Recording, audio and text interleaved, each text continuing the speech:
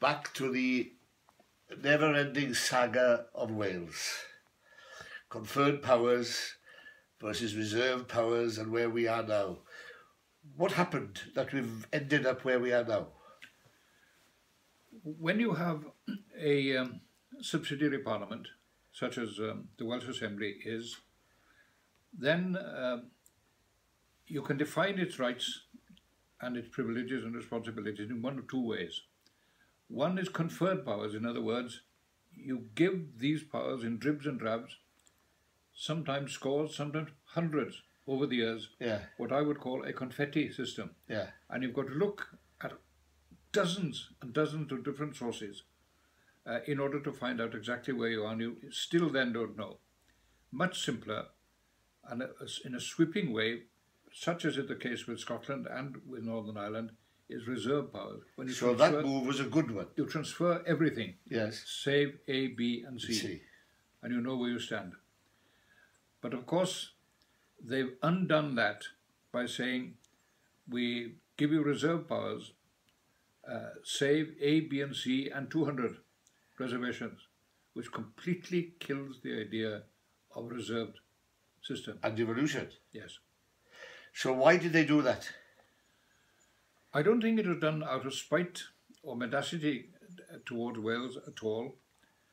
I think it has something to do with this, with the uh, Secretary of State for Wales, perhaps in a rather um, modest way, going from one department to the other and say to the head of department, I say, old boy, are there any reservations that you'd like? All right. And what each and every one of them said, not so much by word, but in their thoughts and in their hearts, we reserve everything we possibly can, however small, however trivial, however niggardly, and however utterly nonsensical not to be part And in many ways settlement. insulting. Insulting. That's the point. If they'd set out to destroy the whole concept uh, of a reserve powers constitution, they couldn't have done a better job of it. So it says a lot about the mentality of the establishment. Yes, it means it means you see not only that they lack a basic understanding of Wales as a land and nation, but that they lack an understanding as well of what I would call the geometry of uh, devolution, the geometry which uh, is based upon some sort of moral uh, and um, legal balance. In other words, the subsidiary parliament says we are not concerned with succession to the crown. We're not concerned with defence. We're not concerned with foreign policy. We're not concerned with international finance. But, on the other hand, you are not concerned with domestic matters. Yeah. And in the same way we keep out of your affairs, you keep out of our affairs. And if you have that mutual trust and partnership, then you've got a future. And that's missing. That's missing, totally missing. That's the short It's one. not missing in terms of Scotland, No, nor Northern Ireland. no. So what is it about Wales and England then? Well, you look at the reservations. Um, one could go through dozens of them that are ludicrous. Dangerous dogs, prostitution, hovercraft, sharp axes and knives, um, collections for uh, charitable Charity collections, uh, yes. purposes, licensing, Lic- something that's been devolved to Wales since 1881. Why do they do it? They do it because there is a colonial prejudice against Wales. We were the first colony, the 13th century. You seriously colony. believe this? Well, they believe I, it. I, I, I don't. They believe I it. don't doubt you. They believe it. You seriously believe that's where they are in their mind? Well, ask yourself this, this question, which I think is a fair test.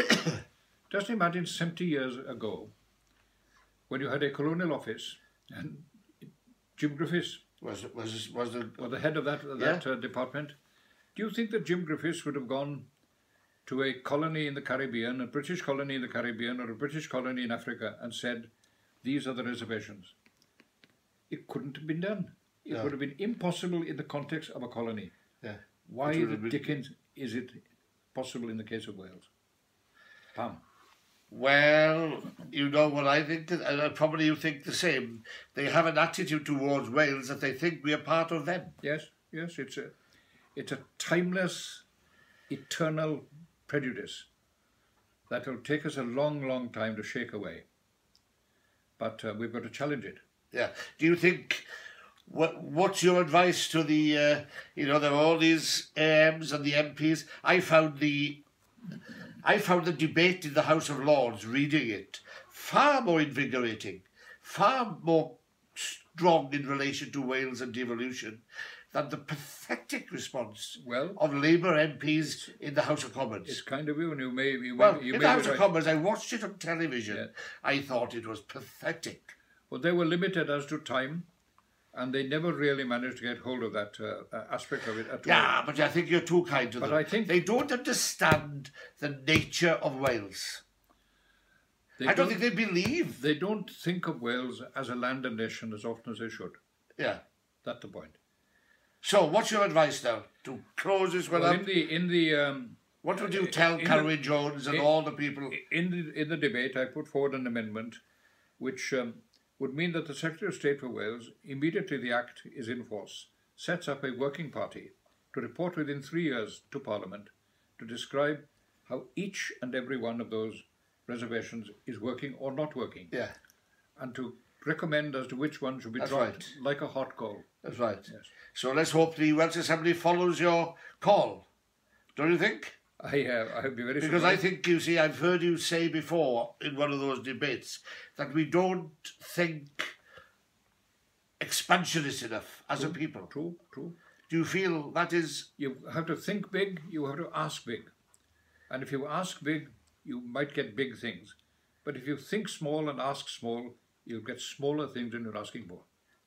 There we are. Now, there's the words of wisdom from someone who's been around a long time in politics and the law. He knows what he's talking about. Thank you, sir.